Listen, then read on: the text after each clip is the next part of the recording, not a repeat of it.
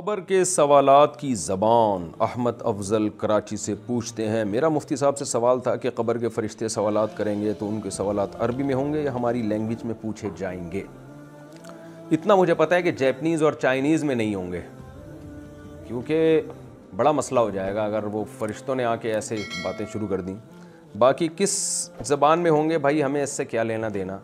हमें तो ये पता है कि जिस भी ज़बान में होंगे, हमें समझ में आएगा क्या पूछ रहे हैं।